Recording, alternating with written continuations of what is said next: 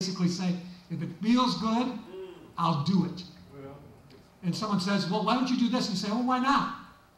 Instead of saying, why not should I do it? You see the difference? Why not? And you just, there's no intentionality. You're just lazy with how you steward this gift of time that God has given you. And so you don't end up building, you end up responding and just doing whatever comes your way. That's apathy, that's laziness. Okay? All right. Tests of time. No plan, no purpose. Here's the fourth thing good to the neglect of best. Going back to our key verse, make the best use of your time. There's a lot of things that are good that aren't the best. All right? Making the best use of your time. All right? Here's some subpoints to that. Mary and Martha, you know that story. Martha's out. Martha's uh, just doing all these things in the in the home, and Mary's sitting at the feet of Jesus. And Jesus finally says, "Martha, Martha, come, like your sister." Martha's mad because she's doing all these things, but it's a poor use of her time with Jesus in, in the home, and she's not she's not sitting at his feet. You ever done that? Too busy doing things and not being with Jesus? Need for wisdom. All right. God is a lot smarter than we are. All right? That's the understatement of the day. God is a lot smarter than we are, and we need to get His wisdom to determine how we use our time. And lastly, it's just a lack of discipline to become a slave to your schedule. A slave to your schedule. Okay? All right, that's the test of time. Here's the thing we often think that we're victims of what's going on in our world. And I'm telling you, it's a volition, it's a choice. You are not a victim of your world. If you right now, are, your time is not being used in, in wise places, it's by choice that you got there. And it's by choice that you're going to get out of that to start living a godly legacy. All right? You're not a victim. It's your choices that got you there. All right? That's important. All right? And if you can admit that you're struggling in the use of your time and making the best use of it, you're ready then to go forward because we have the answer. And the answer comes in the person of Jesus. How do we leave a godly legacy? We learn from Jesus. All right? This is how we learn. We learn from Jesus. Jesus didn't just teach us by what he said. He also taught us by how he lived. And if we look at his life, he can give us a lot of insight on how best to use our time because we're supposed to walk as he walked. All right? And if, get this, if any one person on earth that's ever lived um, was busy and had plenty to do, it was Jesus Christ. 24 7, he could have been doing things. All right? People, people, people, all the time coming to him. There wasn't a sickness he couldn't heal. There wasn't a marriage that he couldn't spend time with to help them. Right? There wasn't a Pharisee that he couldn't go after and rebuke. Right? There wasn't a young convert that he couldn't disciple. But did he do it all? The answer is he did not. He didn't do it all. We need to learn from him how he did it because he did it right. All right? And so we got that. We're going to look at that right now. All right, so here's the first thing learn from Jesus. The first thing, leaving a godly legacy, is you better have some solitude with the Father. You better get close to Jesus Christ. You can't leave anything that you don't have yourself. All right? So here's the first thing solitude with the Father. It starts with God and you. Time, Let me, let me just read you something. I don't think I'll read it. I, got, I have it somewhere. I don't know where I have it here. 21 times in Scripture, in the, in the uh, Gospels, we see that Jesus got alone to a secluded place, early, usually early in the morning, sometimes late at night, to meet with the Father. All right? I don't know where you are today, but if you're not getting alone, getting to a quiet, isolated place on a regular basis, all right, I'm telling you, if Jesus Christ, God in the flesh, needed time with his Father in a secluded place, who are we to think that we don't need the same? All right? All right. If you're going to a godly legacy, it starts right here. Time alone. With the Word. In worship. I don't know you, you know the spiritual disciplines. I'm not getting into spiritual disciplines talk. But you can't get to God, just to comment on that, you can't get to God without the spiritual disciplines. It's been the way of the ages. You need to open up the Word. You need to get to Him in worship. You need to pray. You need to meditate. You need to fast. The spiritual disciplines is the key to intimacy with the Father. Right? Get alone. Get time in quiet. Needs to be alone. Away from people. Time for prayer. Time to rest. You need that. All right? And if you've got your schedule right now and your time is so jammed, if you don't have time for that, that's where you've got to start. That's where Jesus went. Jesus had power throughout his day, and he was just a man, just like you and I. Right? So he didn't have like godly powers in the same way we think. Certainly he had the understanding, but he didn't use his godly powers to do manly things. He relied on his relationship with his Father. All right? And the strength that came from him and came from the Holy Spirit to do the work. All right? Don't think that he was a superman. He was a man, 100% man, and 100% God. And he struggled with the exact same things as you are. He's tempted in every way, just as we are, but yet was without sin. He was tired. But where did he get his strength from? His relationship with the Father. Right? And we got to do the same. All right? So that's the first thing. To leave a godly legacy, you've got to have time and intimacy with the Father. All right? Second thing single mindedness in mission. All right? We are, I am, so easily distracted. All right? I'm so easily distracted from what I say I believe and what I say I want in my life. All right? I'm double minded, triple minded, quadruple minded oftentimes, and not single minded. But Jesus was single minded in his mission. That was one of his strengths. He was able to always focus on the will of God for him, the Father's will for him. Right? We are divided in our hearts and divided in our time. But if we want to leave a godly legacy, we have to grow in our single mindedness of mission. All right. How did he do it? Here's what he said the purpose, John 6 38. He said, I've come down from heaven to do my Father's will. Not my own will, but the will of him who sent me. All right? That was his purpose. He understood that. All right? And nothing got in his way. All right? And his plan and then ultimately his practice, he could all three aligned up. His purpose, his plan, and his practice all aligned with that single-minded mission that he had. All right? And you could we could all profess what our mission is. All right? We can all be clear what we think that God wants us to do, but then to actually plan it and to put it into practice was the power. All right? And that's what Jesus was able to do. All right? Every act in Jesus' life was filtered through his single minded mission. All right? It, here's the thing. Sometimes we think when we're talking about time and leaving a godly legacy that we have to cut out a bunch of things. Okay? And you might have to.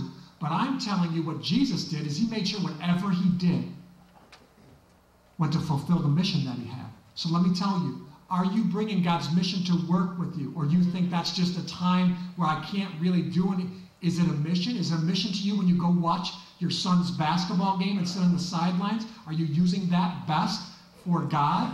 You might say, well, you know what, my kids' activities, there's too much, I just got to cut them out.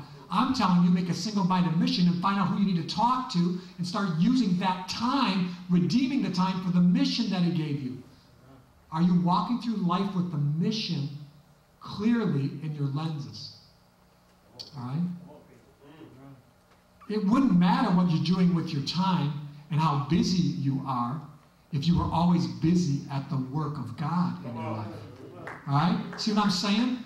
What the key to leaving a legacy is not just cutting all things out and getting the Bible open and sitting with your, your kids at home. That's a good thing.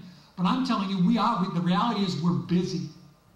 You're going to be busy. That's the world we live in. But how do you bring the mission of Jesus Christ into each area of your life? If you're going to work and you're not thinking a bit about what Christ wants you to do today, not really looking for opportunities to, to pray with people or to bless people, you're missing it. That's what Jesus was able to do. All right? So, single mindedness and mission. Here's the next thing learn from Jesus selective investment. Jesus made choices that included the word no. Jesus made choices that included the word no. All right? He couldn't do it all. Though he loved them all, he could not serve them all. He could not talk with them all. He could not heal them all. And we never see one bit of him ever being discouraged by that. We don't see discouragement in Jesus Christ, but yet he couldn't get to everyone. Why? Because he, because he made selective investments in the people that were around him, and he couldn't do it all, but he was clear on what his mission was and who he needed to pour it into. Selective investment. Right? He's never overwhelmed. You don't ever see Jesus being overwhelmed with his schedule. Right? The use of his time, he always prioritized his investments. Here's what it looked like. He prioritized the relationship with his father first. Secondly, he had the three, right? James, John, and Peter. Right? Then he had the 12, and then he had the people. right? For the people, he would stop when he had margin and he'd minister to them, and, um, but it never compromised the Father, the three, and the 12. All right? And oftentimes we feel overwhelmed, like, I got to do more, I got to do more, I do more. Well, I'm just telling you, Jesus had 12 people that he primarily poured into. 12. Right? And just like it is to get alone with God, who are we to think that we don't need the same thing? If you think that you can invest in 25 people and really make a difference, it's not very likely. So who's your circle? Who's your circle? You want to leave a legacy, you got to make sure that your circle is something that you can minister to. It can't be so big. It has to be selective, just like Jesus was. Who should be in your circle? Who should be in circle? Tell me. Family. Spouse, children, okay? Then what? Co-workers, maybe some key co-workers, maybe two or three co-workers. Other brothers, you better have some other brothers that you're investing in. I mean, I have a lot of great relationships, but there's not a lot of people that I'm really pouring into. I've got a few, but I can't do it with everyone. The guys know. I mean, I have relationships with all my guys from my church, but I'm not like with them every single moment. I'm not spending, you know, three hours a day with everyone in my church. But I am spending time with my flock leaders, the key guys that oversee other people, and spending time with my uh, my senior or uh, adult pastor and my family ministry pastor. I'm doing things that I can do. My circle is clear, and I'm selective at that because Jesus was. Right? If you want to lead a legacy, you have to have solitude with the Father, single mindedness in mission. Thirdly, selective investment. Here's the last thing you have to be selfless in service because that's what Jesus was. His life wasn't his own, right? It was about the Father. His time was not his own. His time was not his own. And my time is His to give, God's to give. My time is God's to give, but mine to live. All right? I'm a steward. You are a steward. And God says make the best use of the time. And it is and the best use of his time, our time, is to serve others. All right? We have to battle our own selfishness, but God gives us an example in Jesus. He was serving others. He was filled to be spilled. I love Luke 4. Luke 4, Jesus goes out in the wilderness and um, is tempted by the devil, and he comes back filled with the Holy Spirit, the Bible says. And when he comes back, that was the beginning of his ministry. Until then, his really wasn't a public ministry at all. But when he got filled with the Holy Spirit, he comes back I love this picture. He goes in the temple, he opens up the scroll and reads about himself and says, I've come. I have come to spread good news to the poor. Right, and to bring back sight to the blind and to set the captives free. He was filled to be spilled for other people. And that's what we're about. Selfless and service. You want to leave a legacy, You've got to grow in your, your willingness to give up yourself for others, just like Jesus did. You before me, all right? John 13, anybody remember what that is? He's in the upper room. What does he do to show how amazing, what amazing oh. servant he was in the upper room before he died? He washed the disciples' feet. Are you kidding me? Mm. Jesus Christ humbled himself and washed the dirty feet of sinful people. I mean, I just, it's crazy, but he was, it was a demonstration of how we're to serve one another. If you want to leave a godly legacy, you've got to be willing to serve others. All right? And then lastly, sacrifice. Matthew 20, 28. The Son of Man did not come to be served, but to serve and to give his life as a ransom for many. He should have came, and the, the New Testament should have been very short. Jesus Christ came to earth, everybody fell flat on their face and worshiped and served him. That's what should have happened.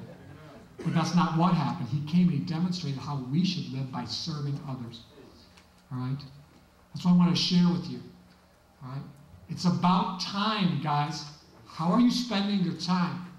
We went through the things that vie for our time or compete for our time, and to analyze those and figure out what are the things that have a hold on me, and start to root those out. And then, secondly, practically start to live like Jesus. Get a lot of time with the Father, solitude and alone. Not going to leave a legacy without it. Your life is in to those, right? Because that's what God, that's what Christ did.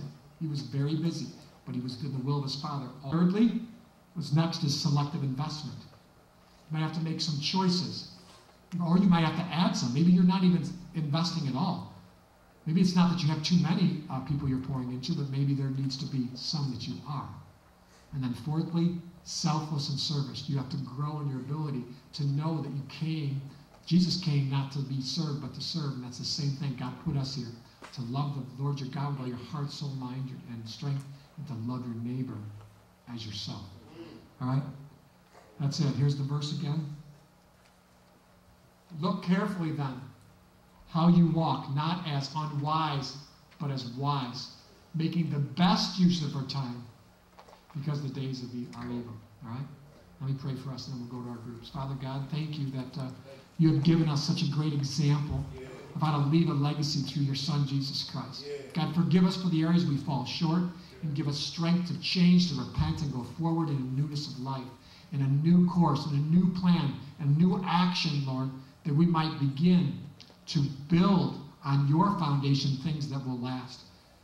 God, thank you for the reality that we will receive a reward for our good work. But God, it's only that we would again turn those gifts and rewards around and lay them at your feet because it's all about you and your great glory. Thank you for your love for us. Thank you for your patience with us. Thank you for your instruction to us, God. And we are we are not without what we need, God. You've given us your Son. You've given us your Spirit. You've given us one another. God, thank you for this day. God, move us. In Jesus' name we pray. Blessed today, let's go ahead and offer God some praise right now.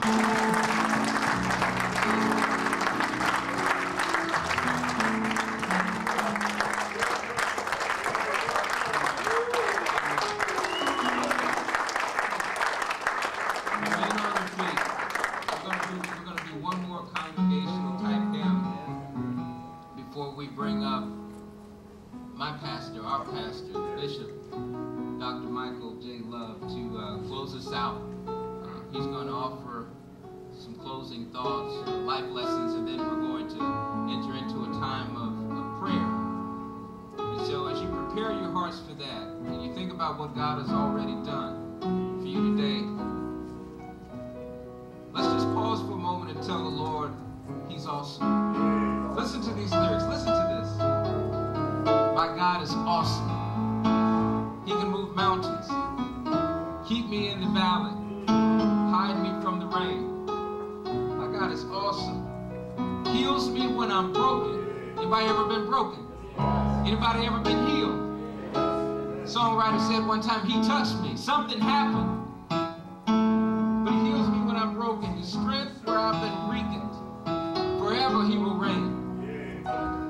Is awesome, Savior of the whole world, giver of salvation. By his stripes I am healed. My God is awesome. Today I am forgiven.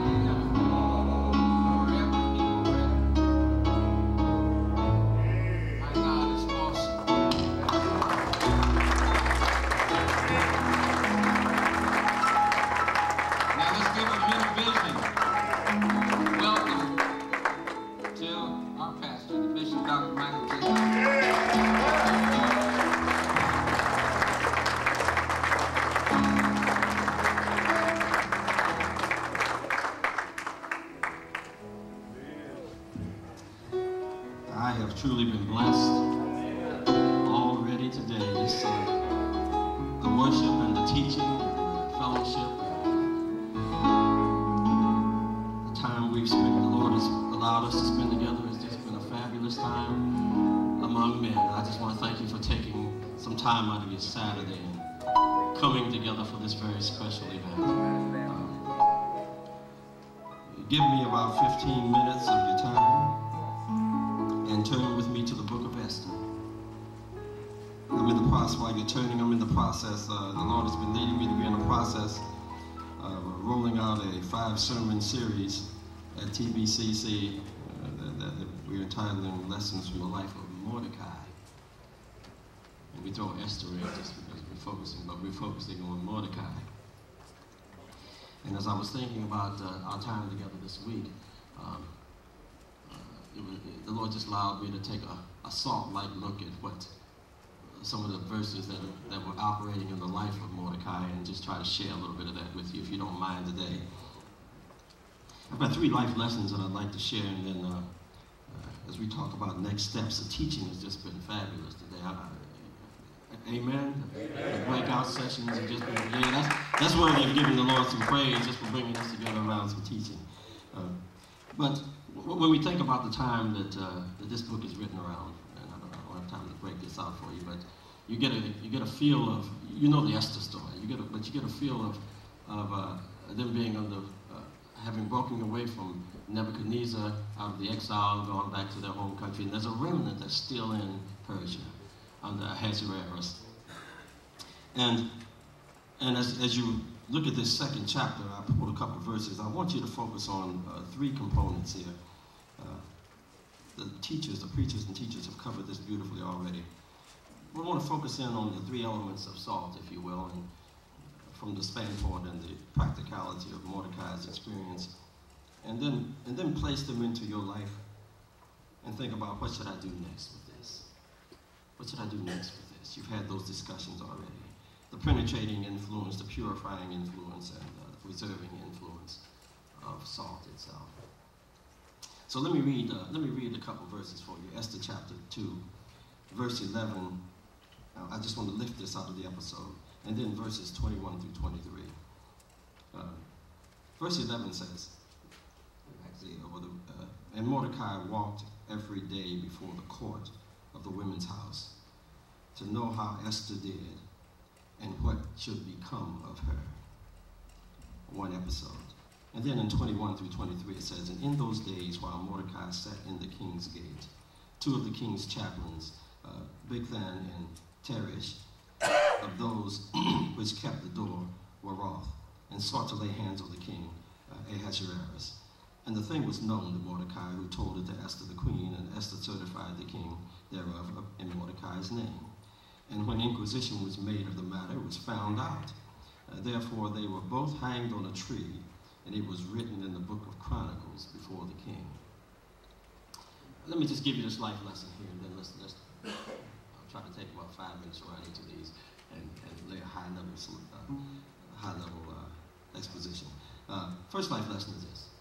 When, when God strategically uh, places salty believers he empowers us to have penetrating influence for Christ.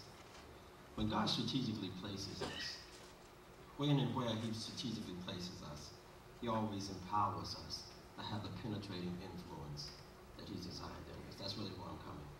You say, why do you get that? How do you get that out of that text? Let's, let's think about Mordecai being a Jew in a Persian setting and ask ourselves a question. How in the world does he get first and foremost to be sitting at the gate of the king? How does he find himself in a position where he's a gatekeeper and he's and the traffic going in and out of the king's palace uh, goes by him?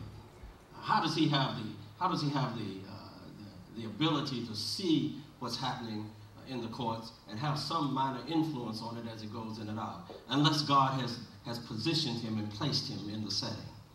How does he hear about the fact that Vashti has now been, has now lost her queenship, and that he can and that uh, uh, and that Esther needs to go and and be a part and can be a part of the the, the maidens that are now processing in front of them, unless God has first and foremost prepared him and positioned him to be in a place where he has an ear to hear what's taking place. Maybe somewhere in the process of this, God is not only placing him, but it's a part of his very plan that he might have some salt like influence in the place that God has placed him.